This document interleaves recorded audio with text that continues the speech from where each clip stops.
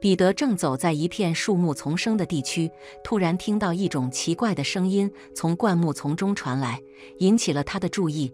他决定去看个究竟，惊讶地发现了一个奇怪小动物。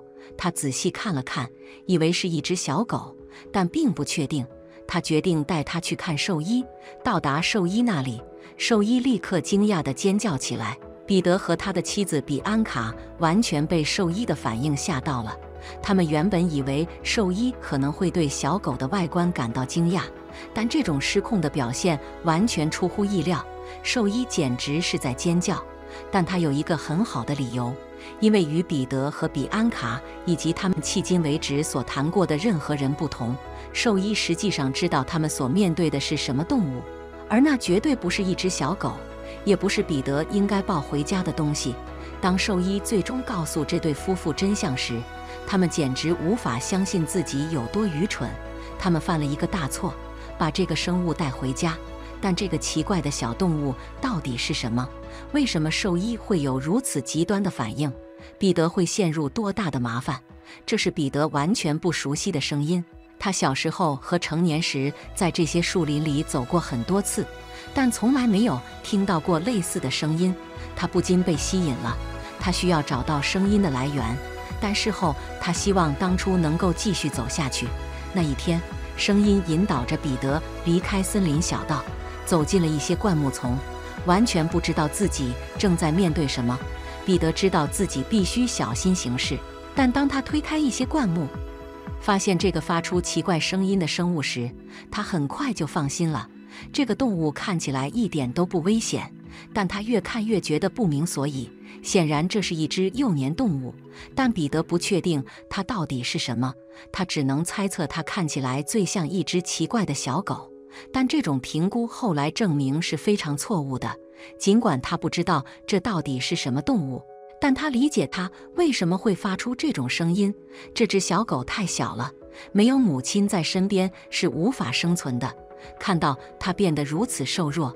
彼得怀疑他的母亲已经有一段时间没有出现了，所以彼得面临一个艰难的决定：是留下小狗，希望他的母亲回来喂养和保护它，还是自己带着它回城市？看到这个可怜的动物的状况，决定并不难做。他非常小心地伸手去抱起小狗，他带了一个小袋子，正好可以放下小狗。但是这只动物并没有停止它的哭声，显然它很紧张。走回城市大约需要一个小时的时间，这给了彼得足够的时间来考虑接下来要做什么。他无法去兽医那里，因为周末兽医不开门，只有紧急情况下才会接待，但那将花费更多的钱，而彼得不愿意花那么多。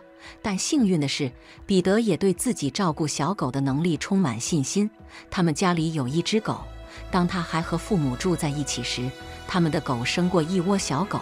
他当时非常愿意帮忙，只要他知道他真正面对的是什么动物。他为这只动物最需要的是小狗奶，尽管他没有母狗可以提供，因为他家的狗是公的，但他知道你可以在宠物商店买到足够的替代品，所以他在回家的路上顺便去了一趟宠物商店。尽管他身边还有这个奇怪的小狗，但这吸引了很多人的目光，人们从未见过如此小的生物。彼得开始被人问问题，但他的回答大多让人不满意。事实上，他刚从森林里带出这个生物的做法让一些人感到不舒服。虽然他相信自己是在拯救一只小狗，但很多人认为这根本不是一只小狗。但他们也不能告诉他这到底是什么。森林中生活着许多我们完全不了解它们的幼崽是什么样子的生物。这只动物很可能完全属于森林。而彼得正在干涉一件与他无关的事情。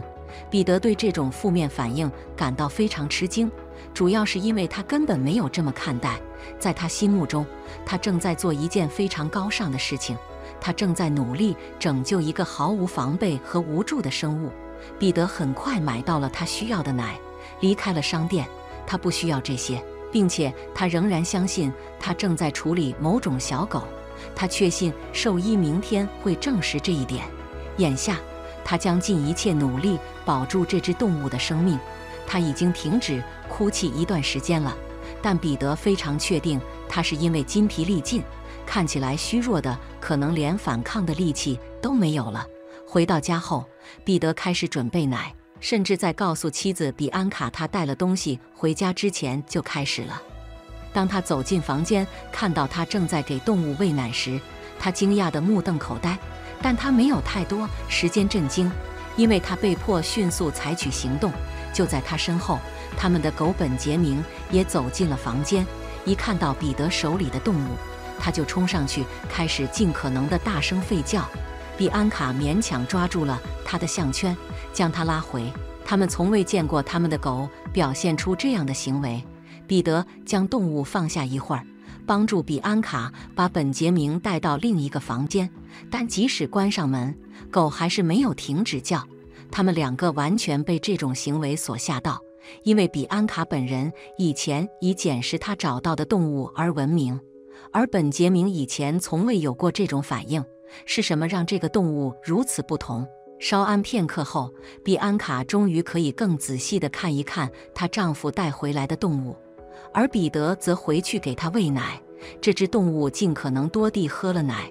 随着时间的推移，情况越来越好。尽管彼得仍然非常确信自己正在照顾一只小狗，但比安卡却不太确定。与宠物店里的人不同，他实际上对彼得带回家这只动物感到非常高兴，并认为他可能因此拯救了这个生物的生命。但他只是认不出这是一只狗。他拍了几张照片，而彼得正在为这个动物准备过夜的地方时，他实际上自己上网搜索是否能找到与这个非常奇怪的幼崽相似的东西。他下定决心，但无论比安卡多努力，他都找不到任何让他确定这个动物到底是什么的东西。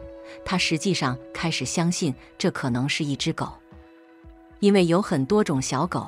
如果一只小狗失去了大部分的毛发，理论上它可能看起来像这只动物，但它也知道，也许只有兽医才能给他们一个有信心的答案。所以他很高兴，彼得已经预约了第二天早上的兽医。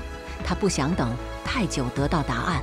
尽管小狗已经喝了很多奶，情况看起来好多了，彼得仍然担心他可能过不了这个晚上。如果他对牛奶有不良反应，或者，如果他太冷，他无法解释自己为什么会那么在乎，但他确实在乎。